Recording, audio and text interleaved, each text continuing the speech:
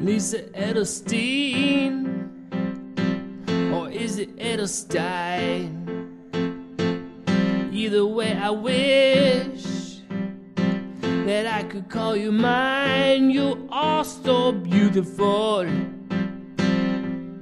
and talented. I'd never heard of you until I got a phone call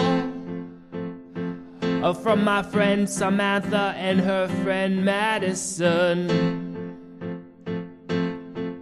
They were raving about your performance in the television show House. I wasn't sure if I believed them, but then I watched it and I fell in love with you. Lisa Edelstein? Or is it Edelstein? Either way, baby, I hope someday that I can call you mine. You used to be a debutante in New York City.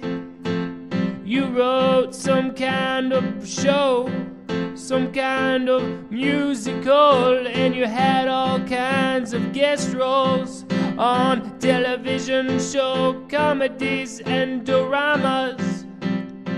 And now you are on a television show called House. You've had quite a cool life. And now it's time for you to become my wife.